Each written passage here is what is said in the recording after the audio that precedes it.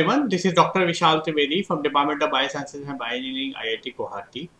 And what we were discussing, we were discussing about the properties of the different biomolecules which have extensive role in running the cellular metabolisms and they are also being responsible for different types of activities what are uh, being done in the in the cells or in a, in an organism actually and uh, majority of these biomolecules are uh, be a part of the uh, the different types of uh, activities. And uh, it is important for us to understand these uh, structure and the function of these biomolecules so that you can be able to understand the molecular processes what they are actually going to run and regulate.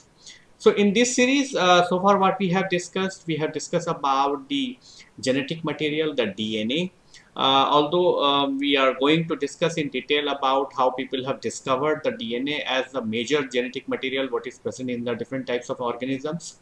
But uh, for the time being, uh, you can imagine that the DNA is the major genetic material what is present in the different types of organisms. There are exceptions that there are other kind of biomolecule which is also being uh, responsible for carrying the genetic information from one generation to another generation.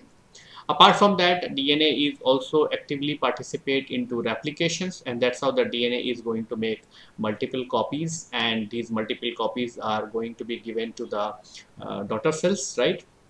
After the cell division and the mitosis and meiosis. And then apart from that, the DNA is also going to be active in terms of uh, the uh, into another activity which is called as transcription and uh, in the process of transcription the DNA is going to make the RNA and then these RNA are actually going to be uh, responsible for making the proteins.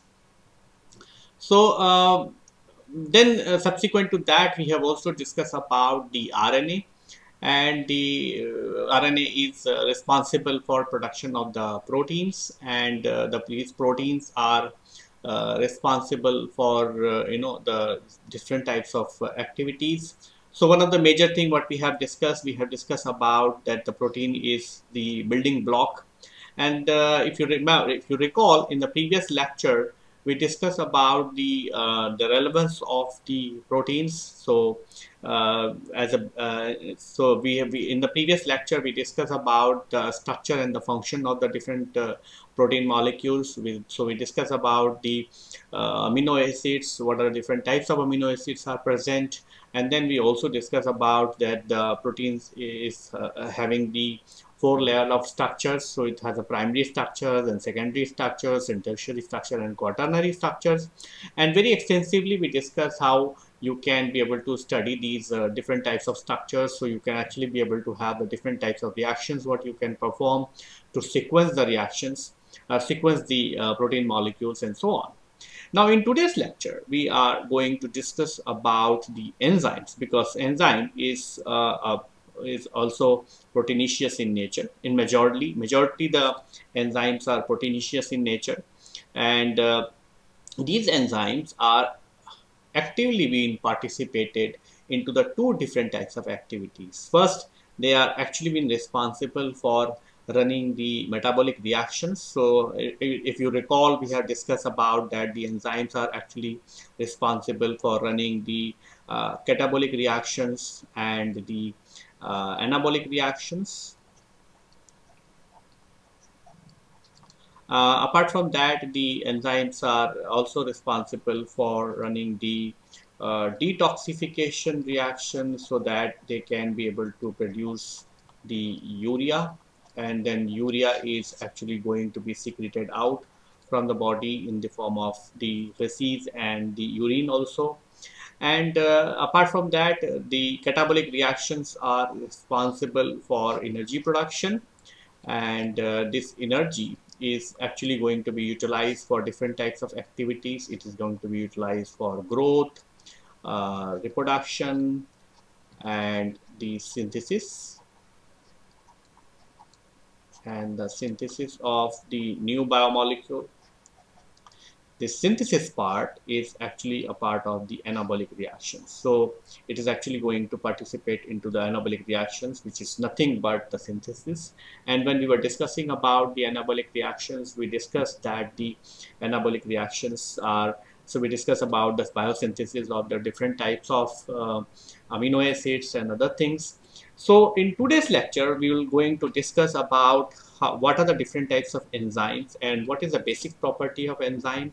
And apart from these uh, uh, biochemistry uh, role of these enzymes in the biochemistry, the enzymes are also having the extensive role in the case of molecular biology uh, protocols, so or the molecular biology uh, processes. So that processes uh, we are actually going to discuss in detail but uh, today we are just going to discuss the different types of enzyme which are actually having the role in the molecular cloning. So uh, what is the enzyme? Okay, so the enzymes uh, as the name suggests is also being called as the biological catalyst.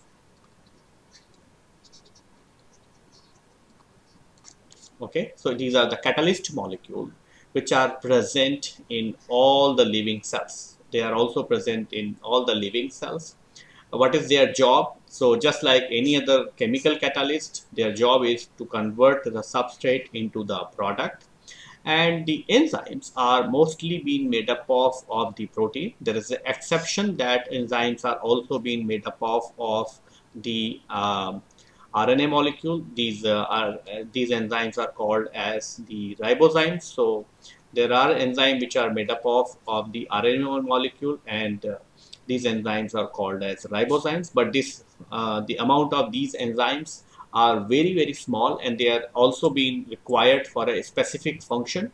So uh, but majority of the enzymes are made up of, the protein molecules and the as i said you know enzymes are called as the biological catalyst. So what is the role of the catalyst? So the role of the catalyst is that it is actually going to increase the rate of the chemical reaction right? So it is actually going to increase the rate of chemical reaction so that the more number of substrate molecule will get converted into the product. But at the end of the reaction it is actually going to be remain unchanged which means that it is going to perform the chemical reaction but it itself is not going to be a part of the reaction. That's why at the end of the reaction the enzyme is going to be remain intact and that's how it is actually going to keep running the reaction right?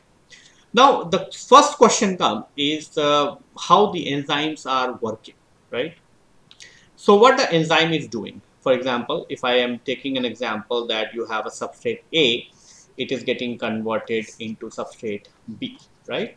So what it is doing is it is actually um, you know converting a to b. For example if i right more precisely so and the molecule a is actually having a phosphate group okay? And the it is reacting with the molecule c for example. And molecule c does not have a phosphate group but it has the uh, groups right? So and then it is forming the b molecule. And b molecule is nothing but the c phosphate. This means it is actually breaking a bond here right and it is uh, transferring this particular group onto the C molecule and that's how it is generating a B molecule which is nothing but the C phosphate. So it is here in the B it is actually making a bond. So at one place it is breaking the bond in the other side it is making bond. Okay, so how it is going to happen? It is going to happen that you have the substrate P and A, A plus B and that a plus b is actually need to uh, so what is happening here is that you are supposed to break some of the bonds and then you are supposed to make the uh, new bonds right? So if you want to break the bond you are actually going to infuse the energy into the system right?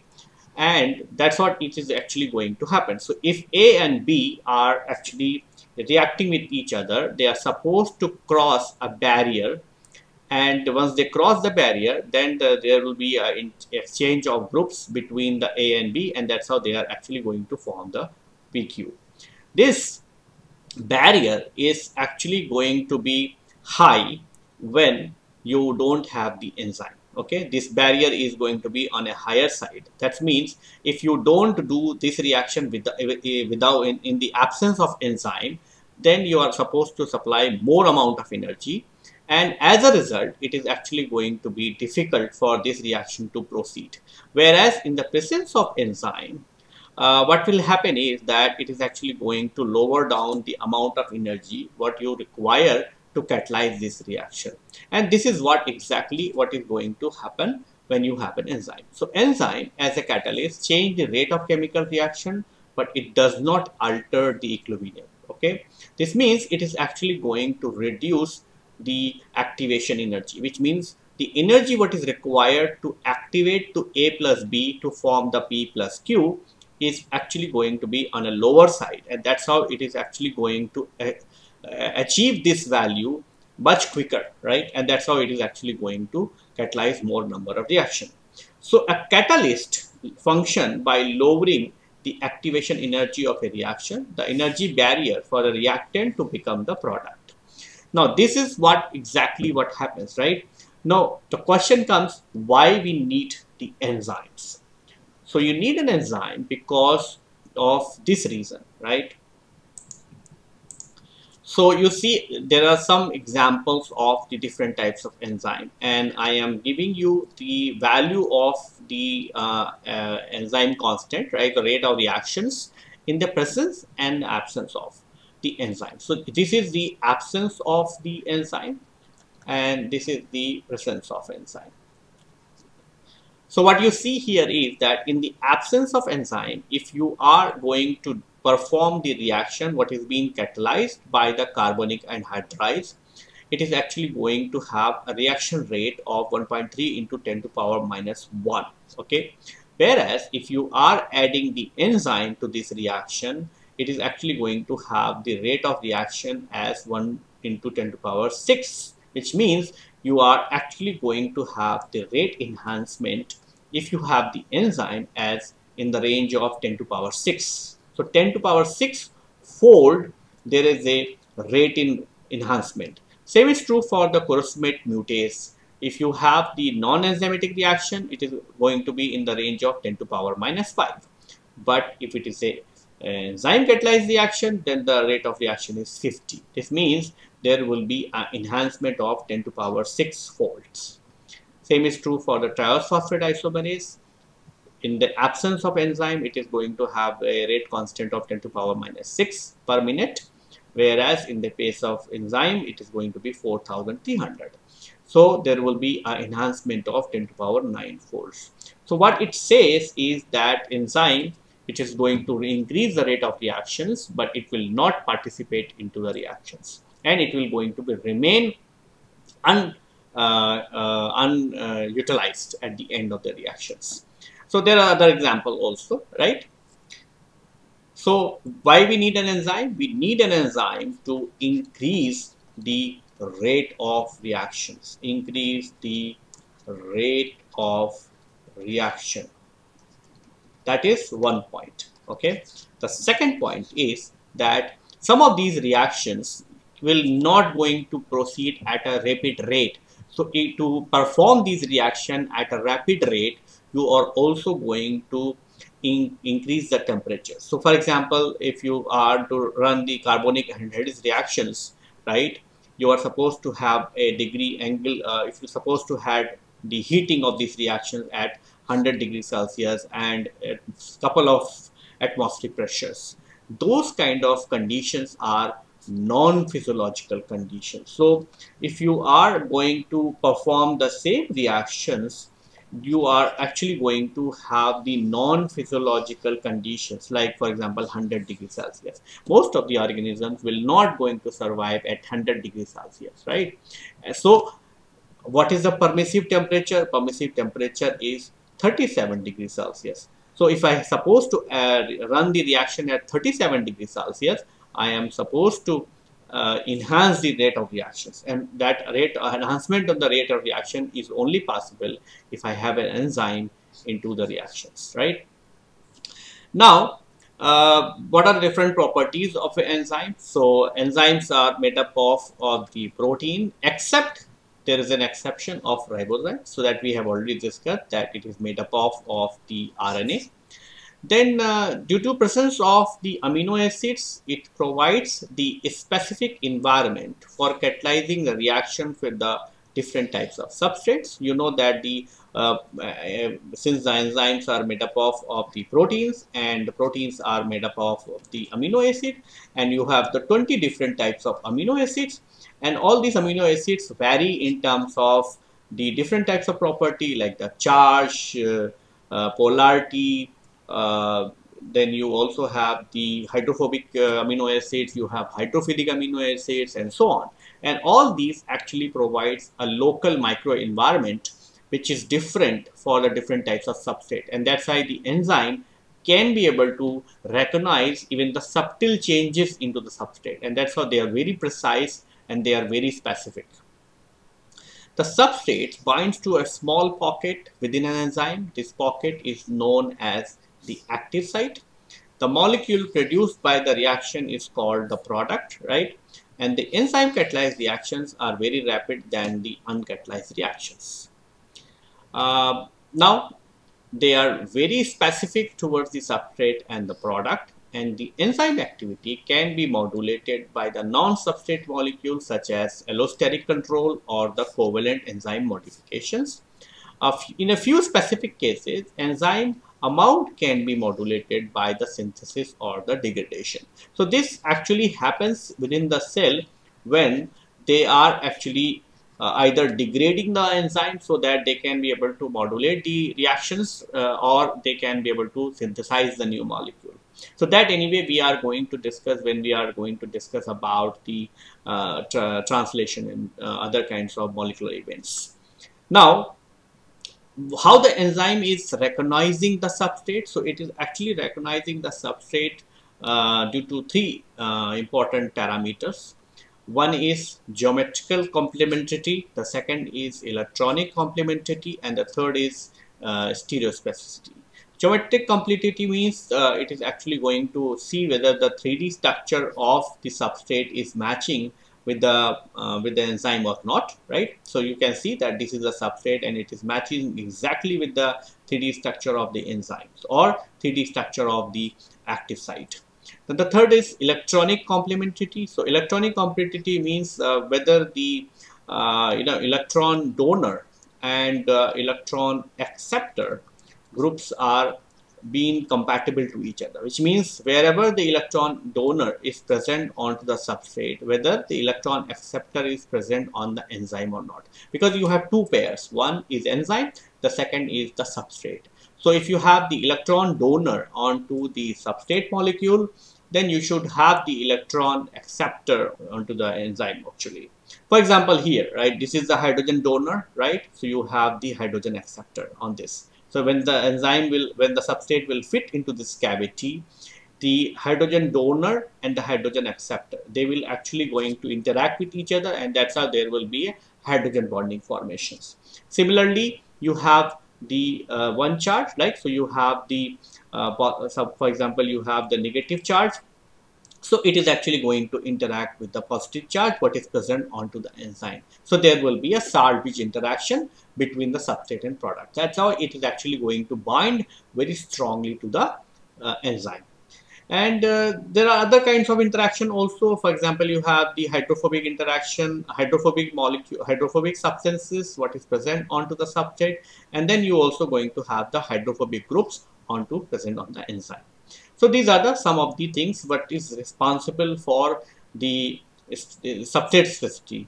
Apart from that, you also require the stereospecificity, which means that uh, it will actually going to recognize whether the substrate is L type or the D type. Although uh, this particular in this particular uh, course, we are not going to discuss in detail about any of these aspects because uh, we are actually uh, going to discuss more about the molecular biology related stuff.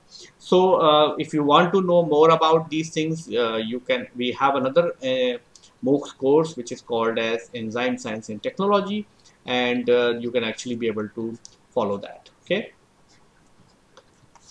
so there is a MOOCs course right where you can actually be able to use that uh, so this is what exactly it says that the geometric complementarity means the enzyme binding site has a structure which is complementary to the substrate it binds. Then electronic complementarity, the amino acid that are from the that is forming the enzyme binding site are arranged to specifically interact and attract the substrate molecule. And then the pseudocity that the binding of chiral substrate and the catalysis of the action is highly specific due to the large part of inherent chirality of the L amino acid that comprise the enzyme. So if I summarize the properties of the enzyme, the enzymes are actually going to have the different types of groups what are present and enzymes are actually going to be very specific for their substrate. Apart from that, the enzymes are also requiring the the uh, metallic and as well as the other kinds of uh, small groups which are actually being a part of the cofactor. So if it is a metal then it is going to be called as cofactor and if it is a uh, small molecules then it is going to be called as coenzyme. So these are just some examples of the cofactors. For example, we have the copper, iron, um, potassium, magnesium, manganese, nickel, selenium, zinc and uh, for example the copper is a cofactor in the cytochrome C uh, cytochrome C oxidase. Then uh, for iron it is actually present as a cofactor in catalase and peroxidase potassium is present in the pyruvate kinase magnesium is present in hexokinase glucose 6 phosphate. Manganese is present in the arginase uh, ribonucleotidase and urease. Uh, nickel is present in urease uh, and so on Similarly, we have the cofact coenzymes. So coenzymes are mostly the uh, vitamins or the other kinds of molecules. So it's a small organic molecule. For example, you have the biocytidine. So that will be a coenzyme for the carbon dioxide, right? So it is actually going to bind the carbon dioxide. Then we have coenzyme A. It's actually going to have the acyl group.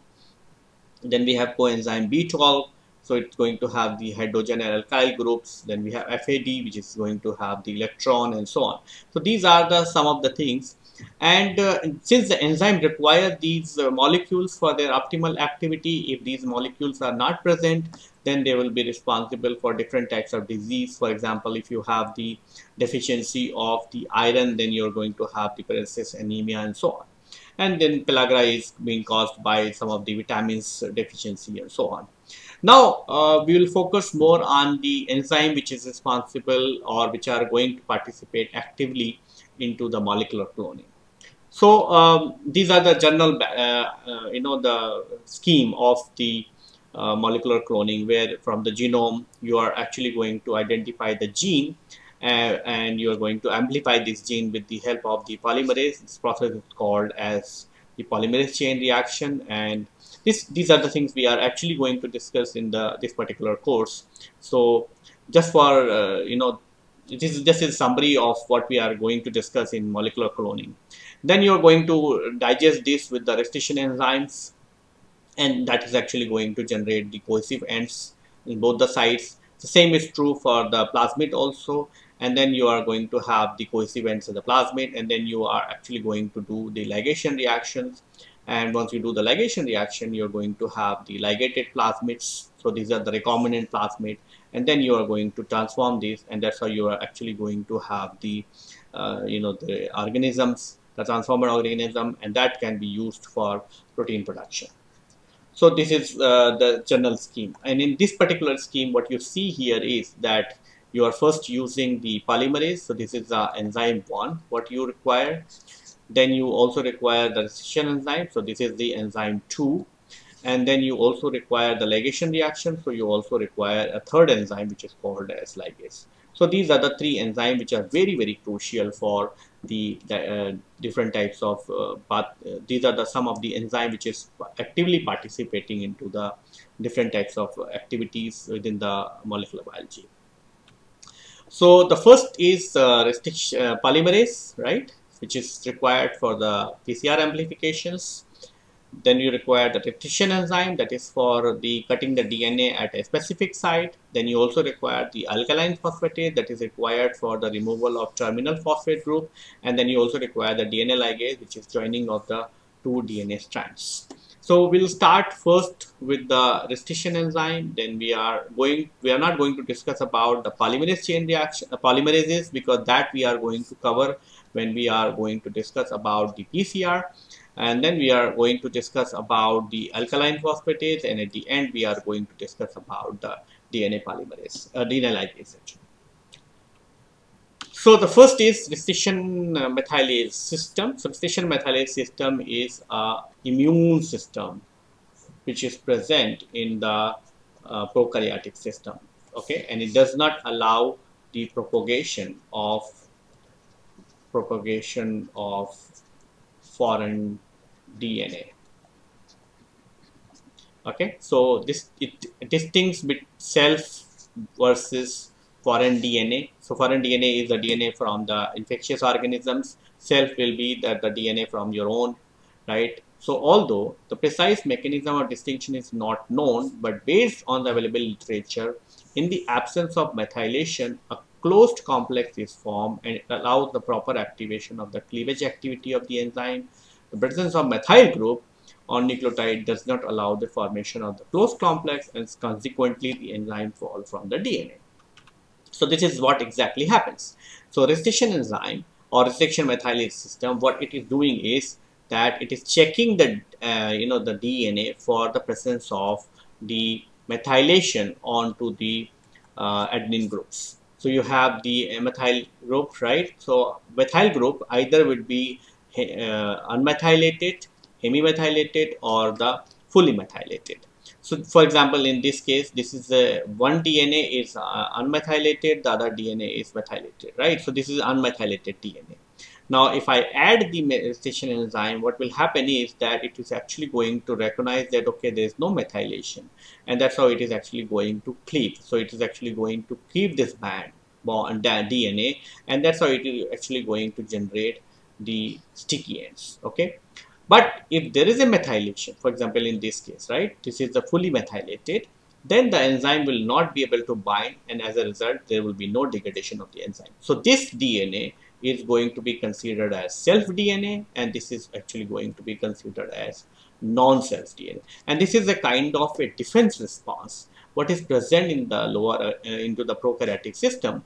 But this this system has a very unique feature that it actually generates the sticky ends. So you have different types of restriction enzymes and they actually generate some of these restriction enzymes are actually generating the sticky ends and that can be used into the molecular cloning now, the question comes how the restriction methylase system actually recognizes the cleavage site. So, for this, uh, for example, we have the four restriction sites, uh, four restriction site RE1, RE2, RE3, RE4. And now what we have done is we have added one restriction enzyme, right? So what will happen is that the restriction enzyme will actually go and non-specifically will go and bind the DNA, right, at multiple places.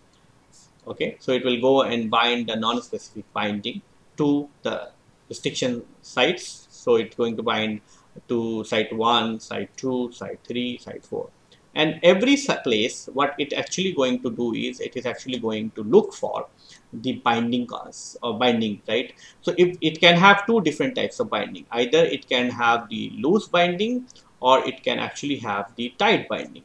If it is having the loose binding then the dna will not be able to cleave. So it's actually going to no cut okay if it is a tight binding or uh, then it is actually going to cut the dna okay so what happens is that if there is a closed complex or the tight binding, then the enzyme will sit and then it is actually going to catalyze the cleavage reactions and as a result it is actually going to generate the uh, degraded uh, uh, DNA and then the enzyme is actually going to be released. Remember that the restriction enzymes are also an enzyme made up of a protein so they are not going to utilize into the reactions and ultimately it is actually going to come out from the uh, from the reactions. Now, once the people have started uh, discovering the different types of restriction enzyme, they also put uh, uh rules and regulation for uh, you know for uh, for putting the name of these enzymes. So the nomenclature of restriction enzyme, due to the extensive search of the presence of restriction enzyme in the different molecular organism, a nomenclature system has been adopted. In this system, the first alphabet represents the name of the genus, the second alphabet represents the species, third alphabet gives the information about the strain, and the fourth is the order in which the enzyme has been isolated from the particular microorganism. For example, this is an enzyme named EcoR1. So this is the restriction enzyme, right? So here the first alphabet is E, the second alphabet is CO, the third is R and the fourth is 1, right? So for the E, it stands for Escherichia. So this is means EcoR1 is being discovered from the E. coli. Then CO, which is going to be the species, so coli species. So and then the R is for the strain. So it is actually been isolated from a strain called RY13. So this is the strain and the one is that the it is the first restriction enzyme from the which has been discovered from this particular enzyme. Now so uh, different types of restriction enzymes. So restriction enzyme vary in restriction uh, cutting site and cofactor requirement. So you can have the type 1 restriction enzyme, you can have type 2 restriction enzyme and you can have the type 3 restriction enzyme. So for the type 1 restriction enzyme, the restriction site of type 1 restriction enzyme consists of 3 to 4 nucleotide at 3 prime end followed by a non-specific stretch of 6 to 8 nucleotide and a 4 nucleotide at 4 end. And uh, for type 3 restriction enzyme, the recognition site has two separate non-palindromic sequence arranged inversely arranged and the cutting site is 20 to 30 base pair away from restriction site. The type 3 restriction enzyme is composed of two subunits, RES and MOD.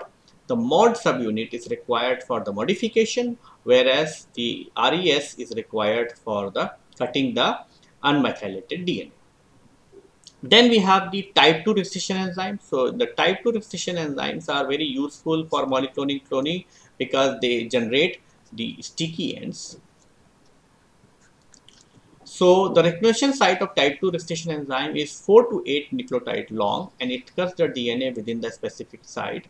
Due to this feature, the type 2 restriction enzymes have an application in genetic engineering for cloning purpose. It is composed of three different types of subunits M subunit, R subunit and S subunit where the M is required for methylation, R is required for cutting the DNA and S is recognizing the sequence which it actually going to be specific. And uh, type 2 restriction enzymes are further being classified into type 2E, type 2B and all that that we are not going to discuss in detail. So this is just a summary of the different types of restriction enzymes. Uh, so we have the type 1 restriction enzyme, type 2 restriction uh, and type 3 restriction enzyme. And this is just a summary of different properties which you are actually going to use. Now, we are going to have the properties of the restriction enzyme because these are the restriction enzymes which are actually going to be having a uh, extensive role in molecular cloning. So first is uh, they are actually going to have the palindromic sequence. The restrictions, the recognition sequence of type 2 restriction enzyme is palindromic in nature. It means that the sequence read out would be same in forward and reverse direction. For example, the BAMH1 has a restriction site which is GGA-TTC. So let's see what is mean by the palindromic sequence. So GGA-TTC, right? So this is 5 prime end this is the 3 prime end. Now, if I write the reverse sequence, right? What is the reverse sequence? C C T A A G. Okay. So now we see that if I read this in this direction, say G G A. If I read the this sequence in this, it's going to be say that G G A. So G G A G G A. T T C T T C. Okay. So uh, if I if I read this sequence, okay, uh, either in this uh, either in this direction or either in this direction, it is actually going to be same, and that's why these are the these kind of sequences are going to be called as palindromic sequence. Now, what is the uh, advantage of this? That advantage is that it is actually going to be recognized by the restriction enzyme.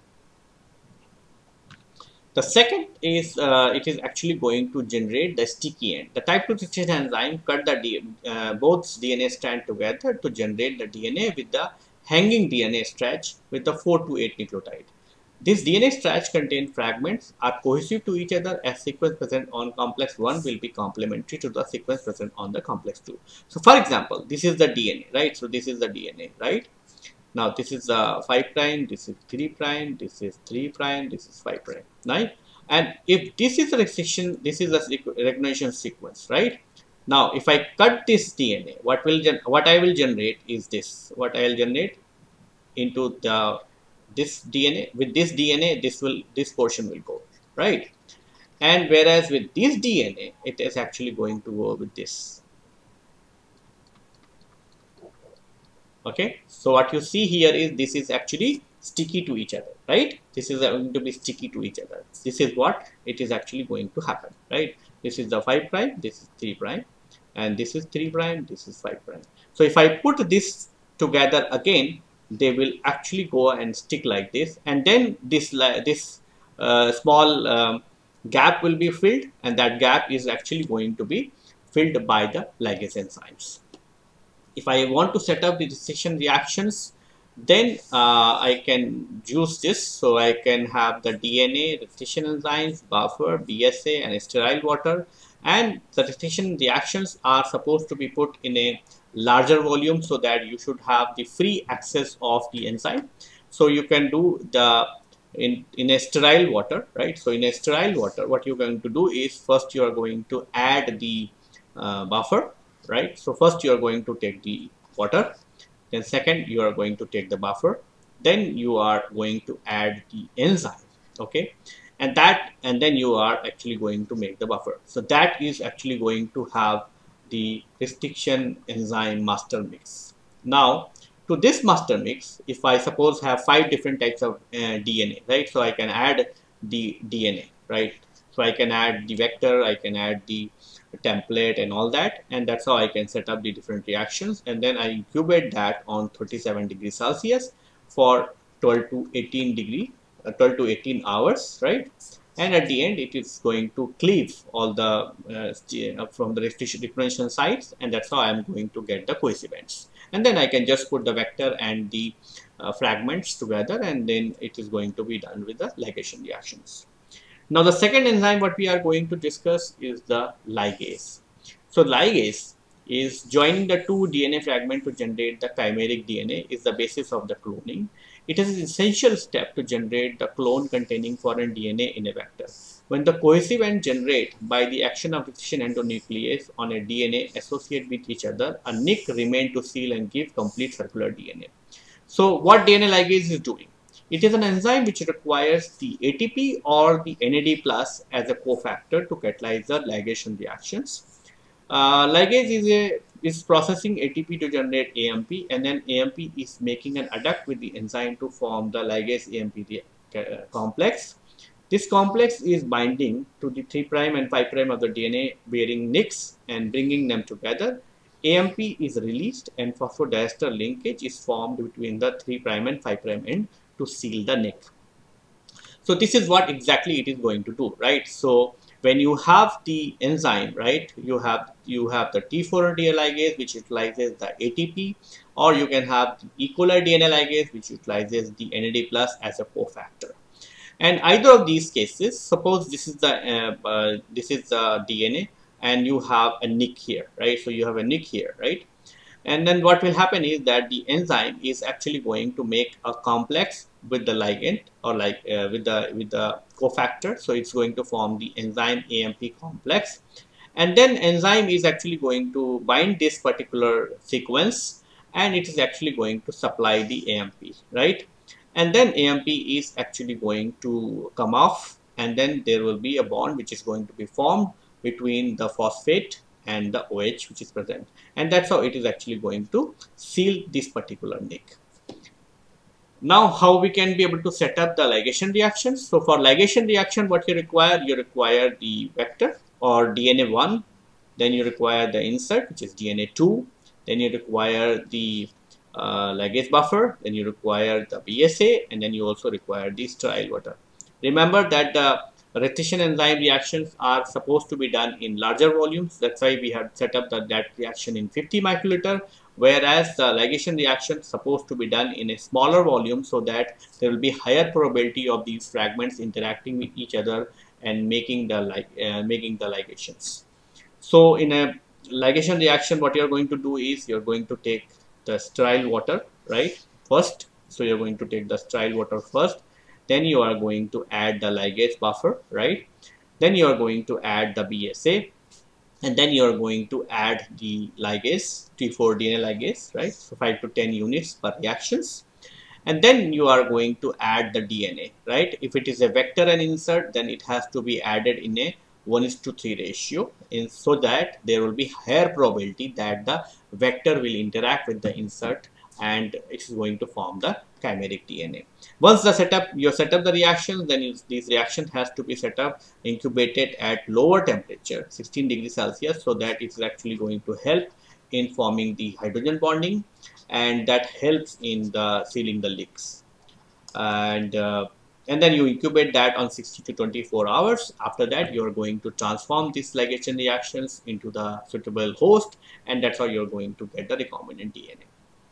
The third enzyme what we are going to talk about is the alkaline phosphatase. So alkaline phosphatase is required when you want to do the directional cloning.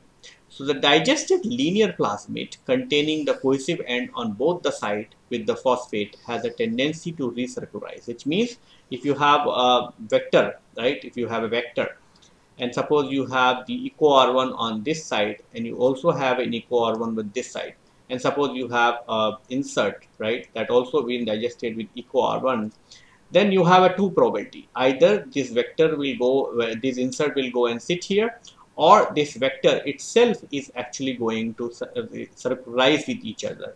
So you're actually going to have the two possibility. One, that it is actually going to take up the insert, right? And it's going to form the recombinant DNA. The second, that the vector itself is actually going to be get sealed with each other, right? And if that happens, then it is actually going to be recircularization, right? And it's not going to give you the recombinant DNA. Whereas if you, the insert comes here, then you are going to get the recombinant uh, clone. So uh, removing the uh, terminal phosphate group prevents this possibility and for this purpose the alkaline phosphatase is used. So if I want to avoid this what I can do is I can just remove this particular phosphate group because if it, this one the, on this side it has a phosphate group on this side it has OH group. So if I remove the phosphate group it is actually going to have the uh, OH on this side, OH on this side, and if that happens, then this particular you know the fragment will not be able to recircularize on on its own. It actually requires the supply of this uh, phosphate group, and it also requires the help of the alkaline uh, help of the ligase reactions. So alkaline phosphatase removes the 5' terminal phosphate groups and in the condition only in the presence of insert DNA as its supply phosphate group HN to provide the ligation reactions. So this is what exactly I was trying to explain. You have the, uh, the vector which has a phosphate group and you have OH group on this side and then you have OH group on this side and phosphate group on this side. So if you put the ligation reaction, it is actually going to circularize, right? So you're going to get the plasmid back, right? So instead of, so you, but you don't want the plasmid back, right? You want the recombinant uh, clone, right? So in that case, what you do is you treat this with alkaline phosphatase. So if you treat the alkaline phosphatase, it is actually going to chew up all the phosphate, what is present on the termini. So as a result, it is actually going to have the OH on the other side, OH on all the sides. Now this cannot recircularize even if you put it onto the ligation reactions. So there will be no ligation, right? Now if I put this along with the uh, insert, right? Insert has the phosphate group which is present, right? So insert will sit here and then it is actually going to have the nicks and these nicks are actually going to be sealed by the ligase and that's how it is actually going to give you the ligation reaction and these ligations, these ligated uh, product can be transformed into the bacteria or the other host and that will going to give you the recombinant or the recombinant clones. So uh, these are the some of the uh, enzymes what we have discussed. So we have discussed about the enzymes what is uh, in general right so what are the different properties of an enzyme and how the enzyme actually works in the biological system and then at the end we have also discussed about the uh, different types of enzymes and their properties which are actively participating into the different types of molecular cloning reactions. So in this particular uh, module, what we have discussed, we have discussed about the structure and function of the different biomolecules which are actively participating and regulating the uh, different types of uh, biological uh, pathways and different types of biological uh, uh, properties or biological uh, actually pathways And uh, so with this, I would like to conclude my lecture here. In our subsequent lecture, we are going to discuss some more aspect of related to molecular biology. Thank you.